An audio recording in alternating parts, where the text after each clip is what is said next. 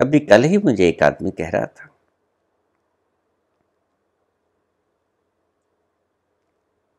कि जो सिद्ध हो जाता है, जो संत हो जाता है, वो किसी को श्राप नहीं दिया करता। बिल्कुल ठीक कहा। श्राप दिया नहीं करता। लेकिन अगर तुम संत को इतना सताओगे, संत श्राप नहीं देगा। नहीं देगा, बिल्कुल नहीं देगा। संत के भीतर बैठा वो संत का स्वामी, वो श्राप देगा संत नहीं श्राप देगा ये तुमने इतना कुछ देखा संसार में, फ़िल्मों में देखा, कहानियों में पढ़ा, शास्त्रों में पढ़ा, कि फला व्यक्ति के भीतर से श्राप आया। श्राप दिया नहीं उसने। कोई जानबूझ के रोए और किसी को भीतर से रोना आए।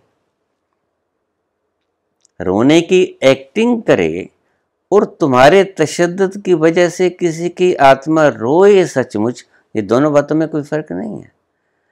संत कभी श्राप नहीं देता, लेकिन अगर तुम उसे इतना सताओगे तो उसके भीतर बैठा हुआ सर्व जगत का स्वामी उसके मुख से खुद बोलेगा, वो तुम्हें ऐसा लगेगा कि ये बोला है लेकिन इसके द्वारा वो बोला है। इसको कहते हैं श्राप। तो कभी आगे से ये शब्द मत प्रयोग करना कि संत कभी श्राप नहीं देता। आप बिल्कुल ठीक कहते हैं। संत तो एक पुतला है। मिट्टी तो बोलती ही नहीं, मिट्टी थोड़े बोलती है। मिट्टी के द्वारा वो बोला करता है। माइक कभी खुद बोला करता है। माइक के पीछे खड़ा हुआ व्यक्ति बोला करता है। माइक तो सिर्फ़ एक औज़ार है। ये मुँह, ये आँखें, ये कान, ये गला, इसका उपयोग कर रहा है वो। अगर तुम उसको इतना सताओगे तो वो इनके द्वारा तुम्हें बोलेगा, वो देगा शराब संत नहीं देगा। संत तो एक माइक है। संत का उपयोग वो करेगा। तेरा देखना, तुम्हारे अगर कोई चुटकी बाँध ले तो चीख नहीं निकलेगी।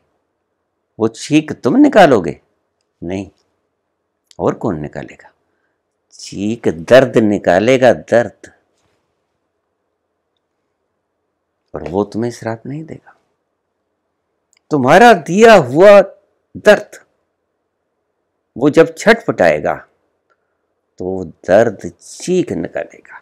वो चीख परमात्मा। की चीख होगी और वो परमात्मा की चीख को दूसरी भाषा में श्राप कहते हैं। अब समझ में आ गई? श्राप संत नहीं दिया करता। संत न श्राप देता है, न वरदान देता है। जब ईश्वर तुम्हारे कामों से इतना प्रसन्न हो जाता है, जब ईश्वर तुम्हारे कर्मों से, आपकी सेवा से इतना प्रसन्न हो जाता है तो वो इस मुँह का आपको आशीर्वाद के लिए प्रयोग करता है। करता वही है। इसलिए बाबा नानक ने क्या कहा? करतार। एक ओंकार सतनाम करता पूरक ये नहीं करता है, पुतला नहीं करता है। वो करतार करता है इसके द्वारा। ये तो माइक है। बोलने वाला कोई और है। वो इसका उपयोग करता है। जब तुम किसी को तंग करते हो, ज़रूरी नहीं कि इसको तंग करोगे तो इसके मुँह से निकलेगा। नहीं नहीं। अगर आप किसी और के ऊपर तशद कर रहे हो और परमात्मा उसे देख रहा है तो किसी और के ऊपर तशद किया हुआ भी उसके लिए भी ये शराब देगा, चाहे इस मुँह का उपयोग कर ले। औरों को दर्द देता हुआ व्यक्ति अगर परमात्मा इन आँखों के द्वारा देख ले कि ये तशद कर रहा है फला आदमी पर तो उस आदमी पर तशद होते देखकर भीतर का आत्मा, परमात्मा इस मुख का उपयोग कर लेगा आपको श्राप देने के लिए। और अगर कोई बच्चा अपने माता पिता की इतनी सेवा करता है, गरीब की, भिखारी की, भूखे की, भोजन की कमी पूरी करता है। लोग पहले ज़माने में गर्मियों में प्याऊ लगाते थे, ठंडा पानी पिलाते थे।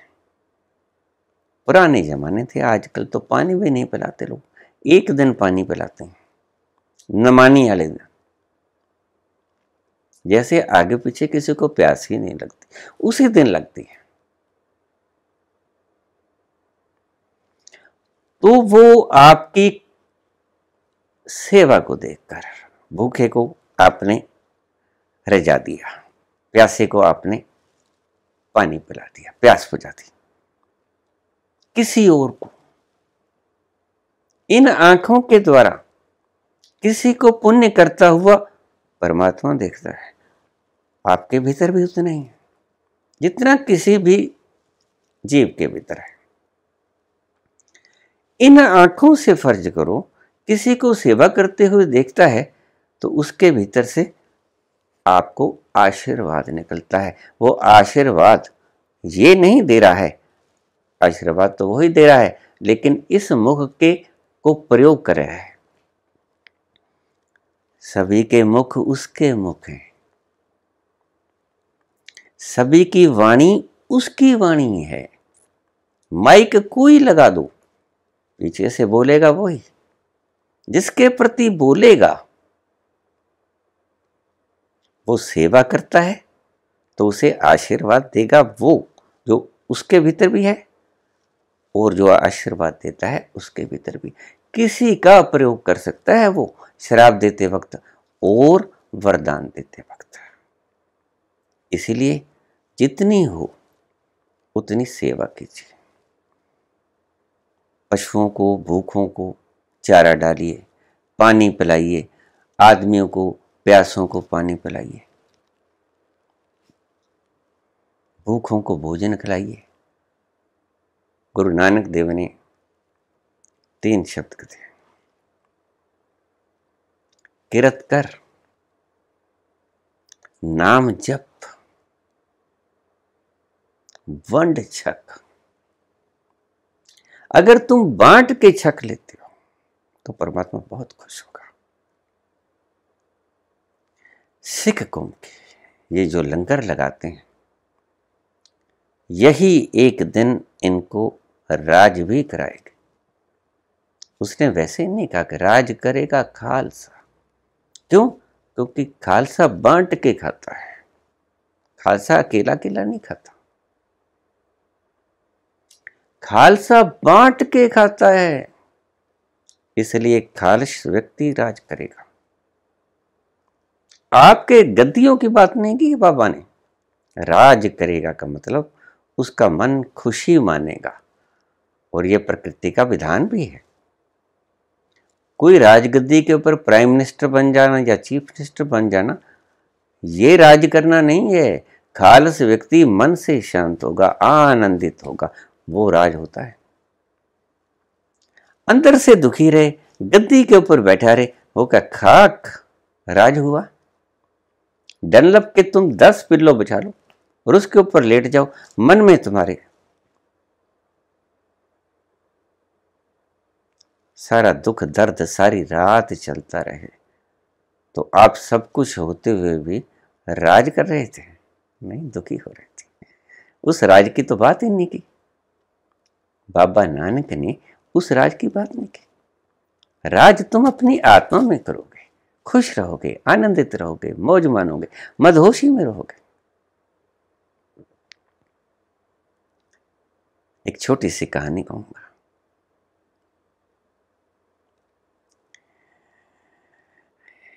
एक ब्राह्मण था, यज्ञ किया करता था। एक दिन वो मर गया, उसके एक पुत्र था। तो उसकी विधवा औरत जितना कोई पैसा छूट गया था, सारा खर्च हो गया। उसको तो कुछ आता नहीं था। हवन वगैरह, यजन वगैरह करना कुछ नहीं आता था। तो अपने पुत्र से बोली कि तुम्हारे पिता ने सौ यज्ञ किए थे। उन दिनों में यज्ञ बिक जाया करते थे। तो बेटा, तू शहर में जा, गाँव में रहते थे। शहर में जा और तुम्हारे पिताजी के द्वारा दिए गए जो यज्ञ हैं, ईश्वर को समर्पित, वो एक यज्ञ बेचा। उसके कुछ पैसे मिल जाएँगे और हमारा थोड़ा गुजारा हो जाएगा। पुत्र कहने लगा अच्छा माता, जाता हूँ। तो माता ने उसे चार परोठे बना के पोटली में बाँध के दे दिया कि बेटा, दूर है, पैदल जाएगा। तब साधन नहीं हुआ करते थे। आने जाने के व्हीकल्स नहीं थे, कोई कारें बसें नहीं थी। पैदल ही चल पड़ा। वैसे भी पैसा देला नहीं था, गरीबी थी। दोपहर हुई, थक गया था। उसने कहा, चलो कोई छांव की, पेड़दार वृक्षों की,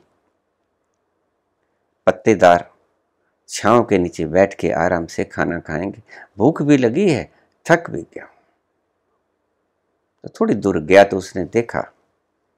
एक झरना, शीतल झरना बह रहा है और बड़े वृक्ष लगे हैं, छायादार। उसका मन खुश हुआ। उसने कहा हाँ यहाँ बैठ कर आराम से पानी भी पियेंगे, प्यास भी लगी और खाना भी खाएँगे। बैठ गया। जो ही उसने झरने में अपने हाथ धोए और कुरली वगैरह की, बैठ गया। और पोटली खोली? जैसे ही उसने पोटली खोली और पहली कोर तोड़ी। उसने सामने क्या देखता है? एक कुतिया जो कि अभी थोड़ी देर पहले ही उसने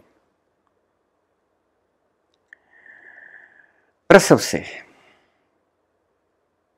होके आई थी। तो आपको पता है कुतिया को आठ दस बच्चे इकट्ठे हुए करते हैं।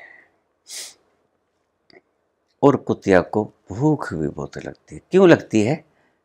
क्योंकि आठ दस बच्चों को दूध पिलाना पड़ता है।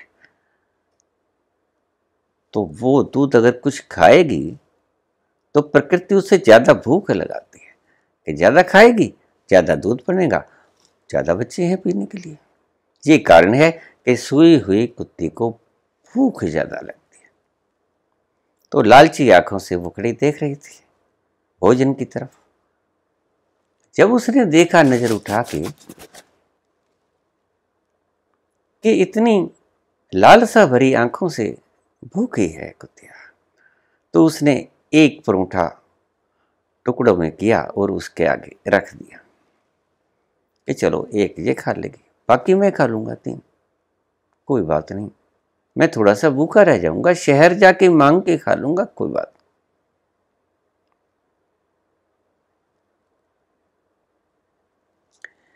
लेकिन वो तो फटाफट खा गई, भूख लगी थी बहुत ज़्यादा। तो फिर आके पूछ हिलाने लग गई, फिर ललचाई दृष्टि से दूसरे रोटी की तरफ़ देखने लगी। उसने कहा, ज़्यादा भूख। चलो, मैं दो खा लूँगा, दो ये खा लेगी। उसने दूसरे परोठे के भी हिस्से किए, तोड़ा और दूसरा परोठा भी उसके सामने रख दिया। जल्दी से वो खा गई, भूख बहुत लगी थी। फिर ललचाई आँखों से, क्योंकि भूख तो बहुत लगी थी। देखने लगी। पशु था, नहीं ज्ञान था कि इसको भी भूख लगी होगी। यही तो कॉन्शियसनेस होती है। इसे ही तो संवेदनशीलता कहते हैं। तो उसने कहा कि भूख ज़्यादा लगी कोई बात नहीं। मैं तो चला ही हूँ गाँव में, मांग के खा लूँगा। आदमी है, ये तो बोल भी नहीं सकती बेचारी। ललचाई आँखों से सिर्फ़ देख रही है मुझे। उसने कहा, चलो, मैं तो एक से ही काम चला लूँगा। यद्यपि भूख तो उसे भी बहुत लगी थी, थका हुआ था। तो उसने तीसरा परोठा भी तोड़ा और वो उसके आगे रख दिया। वो तीसरा परोठा भी जल्दी जल्दी खा गई और खा के फिर उसके सामने पूछ लाने लगी। अब उसने ब्राह्मण के पुत्र ने सोचा कि इसको ज़्यादा भूख लगी है। फिर अब जब देख रही है तो मैं अकेला कैसे खाऊं? बंड चको लेकिन उसने तो बांट भी दिया था। चार में से तीन बांट दिए थे, अपने लिए एक रह गया था। तो उस कंडीशन में व्यक्ति क्या करे? बाबा नानक से अगर किसी ने ये सवाल पूछा होता तो वो यही जवाब देते हैं।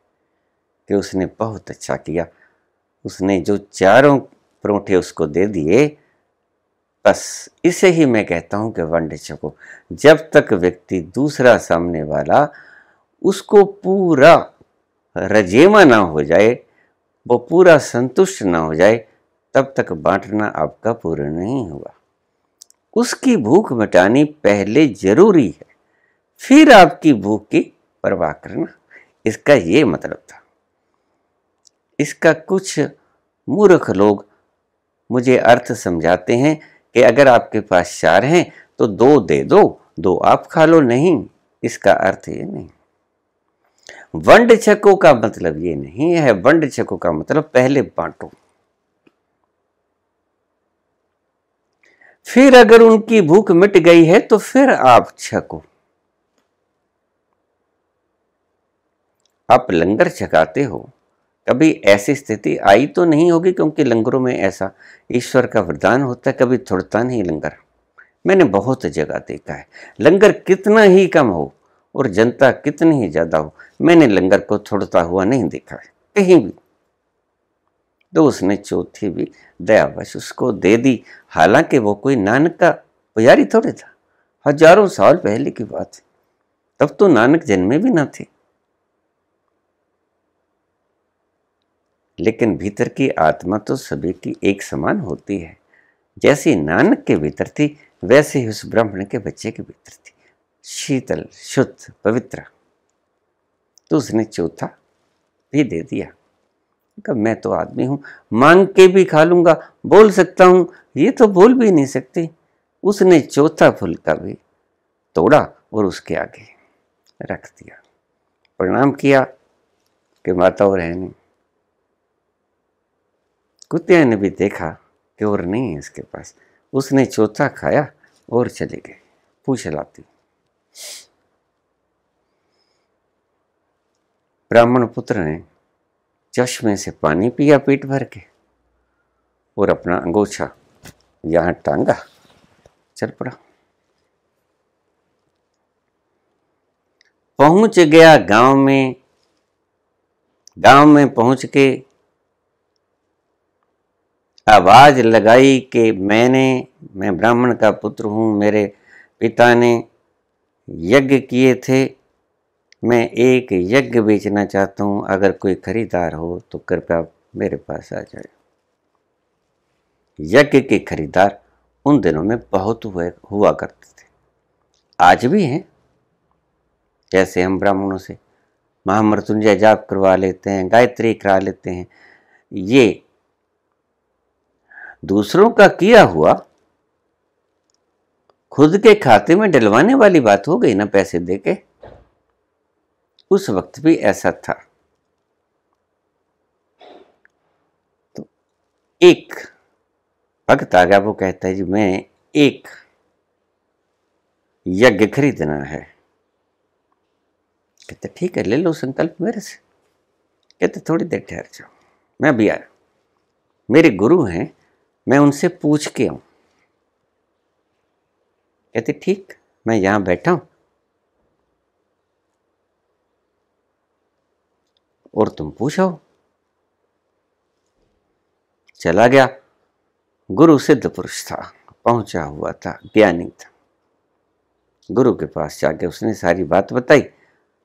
तो गुरु कहने लगे कि उसके बाप के द्वारा किए गए यज्ञों में से आप कोई मत खरीदना।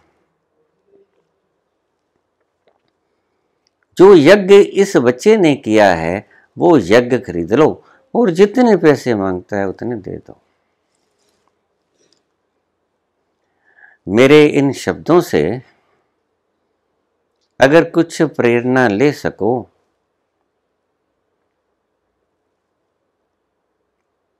तो संत जनों अवश्य प्रेरणा ले लेना।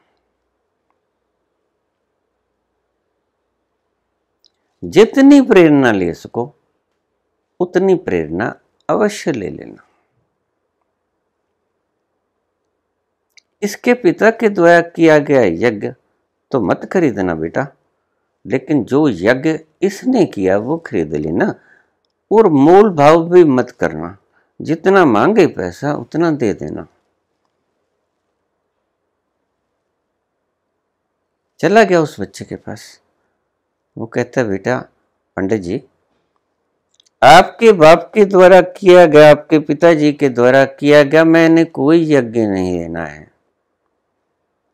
मैंने यज्ञ लेना है जो आपने किया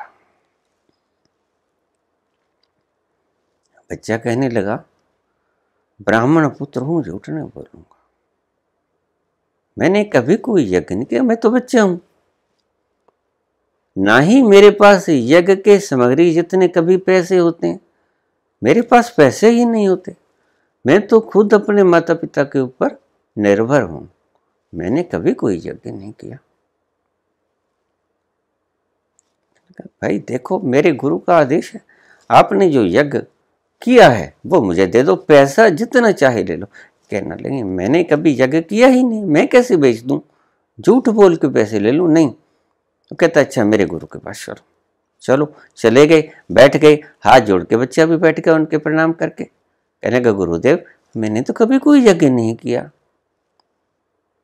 कहता, बेटा, संकल्प में तुम ये मत कहना कि मैंने यज्ञ किया है और मैं उस यज्ञ का फल इन्हें देता हूँ। तुम ये बोल देना कि अगर मैंने आज यज्ञ किया है तो उसका फल इसको मिल जाए। कहता, आज तो मैं भूखा मर रहा हूँ खुद ही। मैंने खुद ही कुछ नहीं खाया, भूखा हूँ मैं। आज तो तुम मुझे कोई दो चार फुलके दे दो तो मैं अपना पेट भर लू।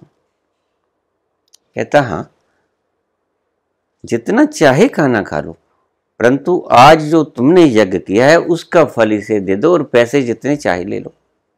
गुरु जी, मैं समझा नहीं आपकी बात को। वो कहता, बेटा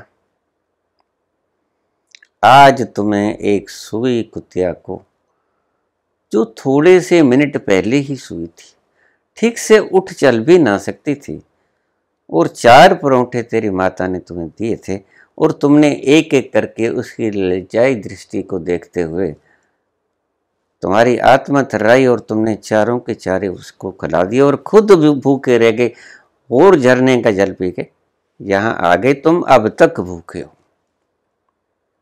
कहता बिल्कुल ठीक है। बस, इस यज्ञ का फल आप मुझे दे दो, जितने पैसे मांगोगे, उतने मुझसे ले लो। ब्राह्मण का पुत्र बोला कि जो आज मैंने किया नहीं, मुझसे हुआ है। ज़्यादा अच्छी बातें कभी की नहीं जाती, हो जाया करती। श्वास के बिना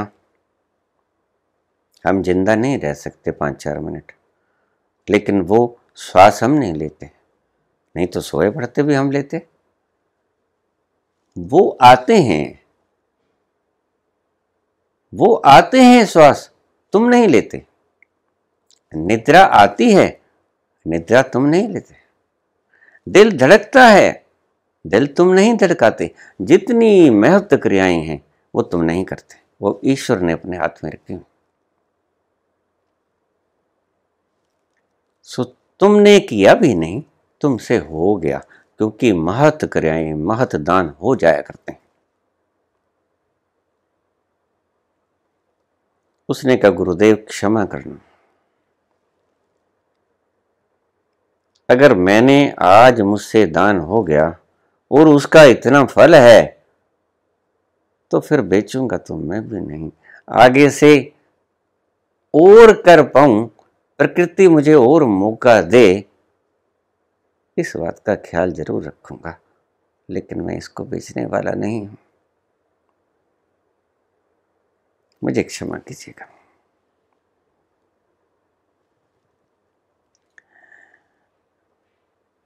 सेठ चला गया। ब्राह्मण भी उठ के जाने लगा। तो गुरु कहने लगा, बेटा, तुम भूखे हो। मेरे लंगर से जाके खाना खा लो। ब्राह्मण पुत्र ने लंगर से खाना खाया, पानी पिया तो थोड़ी सी जान आई, पेट की भूख मिटी और अपने घर को वापस चला गया। घर जाके सारी कहानी सुनाई तो माता ने उसे आशीर्वाद दिया कि बहुत अच्छा किया। गद गद हो गई उसकी आत्मा।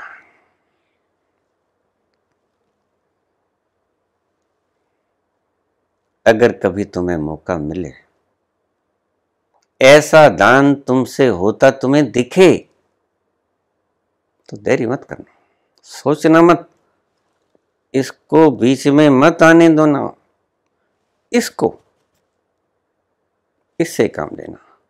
सोचना मत। इसने कह दिया, कर देना। और अच्छी बातों के लिए, ये हमेशा ही परमिशन देता है, क्योंकि यहाँ उसका वास है। यहाँ प्रेमी रहता है, जगत प्रेमी, जिसने जगत की सृजना की, यहाँ से सफरना देता है, यहाँ उसका निवास। इसलिए जब भी आपको प्रेम आएगा यहाँ से उठता हुआ दिखेगा आपको। और जब भी आपको घृणा आएगी, यहाँ से आएगी। गौर करना देखना बुद्धि सोच के घृणा ही कर पाती है। दिल बेपरवाह है। दिल कभी नहीं सोचता। इसलिए कभी बुरा नहीं करता। ये सोचता है तो अभी अभिशाप लेता है। ये सोचता नहीं तो वरदान लेता है। तो श्राप और वरदान, ये दिए नहीं जाते। ये निकलते हैं, संत हो या दुर्जन हो दर्द तो सभी के होगा। और जब किसी के भी दर्द होगा, चाहे वो दुर्जन है, चाहे वो सज्जन है तो भीतर बैठा हुआ बोलेगा, उसी के अनुसार फैसला भी उसका आएगा। आपसे मेरी यही प्रार्थना भी है। आज के लिए आपसे प्रबल प्रार्थना है। कि आपको ईश्वर इतना दे कि आप बांटते ही चले जाओ। और अगर ईश्वर ने आपको दे दिया तो उसमें बांटने के लिए अगर आपके पास सारा बांटने योग्य समर्था नहीं है तो उसका कुछ अंश बांटने के लिए अवश्य रख लिया करो। ये मैं आपको परम खुशी का एक रहस्यमय मूल मंत्र दे रहा हूँ। और इससे सोच के मत देना कि अगर मैं दान करूँगा तो उसका अनंत गुना होके मिलेगा। निस्वार्थ दान करना कि आपका फ़र्ज़ है इस प्राणी की सहायता करना। बाबा नानक ने, पता नहीं था बाबा नानक को कि कितने मेरे लंगर में खा के जाएँगे। उनको पता था कि जितने भी खा के जाएँगे ज़रूरतमंद खा के जाएँगे और जो खा के जाएँगे, वो यहाँ से निकलेगी आशीर्वाद की आवाज़। और वो कभी नहीं चाहते थे कि मेरा खालसा दुखी हो। मेरा खालसा शापग्रस्त हो। मेरा खालसा रोए। जो बुरा कर्म करेगा, वो रोएगा। उसको परमात्मा हंसाएगा नहीं। परमात्मा की प्रकृति हंसाएगी नहीं। जो बुरा करेगा, उसे हंसाएगी नहीं प्रकृति, जो अच्छा करेगा, उसको रुलाएगी नहीं प्रकृति। सो ईश्वर को करतार समझ के, है भी करतार, सभी वो करता है। अगर ईश्वर आपके भीतर कोई अच्छा भाव पैदा कर देता है तो उसे चूके मत, मौके को उसको, तत्क्षण उसकी आज्ञा स्वीकार करके, शिरोधार्य करके वो मान लेना और आपके हृदय में जो उपजा है, तत्क्षण उसे कर लेना। फिर देखना परिणाम क्या आता है? पक्षियों को भूख लगती है, गायों को, प्राणियों को, पानी में रहने वाले, नभ में उड़ने वाले, पृथ्वी पर रहने वाले और गरीब मनुष्य, जो खुद नहीं कमा सकता, अपाहिज है, असमर्थ है, उसको आप अपनी कमाई में से कुछ अंश देना अपनी समर्था के अनुसार तो आप कभी दुखी नहीं होगे। सर्वे भवंतु सुखी नाम, सर्वे संतु निरामया, सर्वे भद्राणी पश्यंतु माँ कश्चित तो भाग भवेद अगर ऐसा विचार होगा कि कोई दुखी ना हो हे भगवान तो ही ये दान की प्रवृत्ति आपके भीतर उठेगी। अन्यथा लोगों से छीनने की प्रवृत्ति उठेगी। अगर इससे सोचोगे, अगर ऐसा भाव तुम्हारे मन में नहीं है कि हे ईश, सब सुखी हो, कोई ना हो दुखारी, सब हो निरोग भगवान। धन धान्य के भंडारी सब भद्र भाव देखे। सन मार्ग के पथिक हूँ, दुखिया ना कोई होवे सृष्टि में प्राणधारी। और अगर दुखिया ना कोई होवे सृष्टि में प्राणधारी, ऐसा तुम्हारा हृदय में विचार उठता है तो निश्चित ही आपसे सदकर्म हो ही जाएगा। क्योंकि जैसी भावना है, वैसे ही तो करोगे। और अगर तुम्हारे मन में ये भावना है कि उसका छीन लूँ, उसका छीन लूँ, उससे लेके मुकर जाऊँ देने हों तो पुलिस में जाके रिपोर्ट लिखा दूँ कि नहीं, मैंने लेने हैं, देने नहीं। कोर्ट में जाके रिकवरी उस पे डाल दूँ जिसके देने हैं। नरक में सड़ोगे। आज मेरी बात को ध्यानपूर्वक सुन लेना। अगर ऐसा कुकृत्य किया तो तुम्हारा हशर अच्छा तो क्या? इतना बुरा होगा कि आप स्वयं का हशर होते देख नहीं पाओगे, आँखें बंद कर लोगे। कि आँसू लोगों को दिख न जाए, भीतर ही भीतर आँसू आज के लिए इतना ही। धन्यवाद।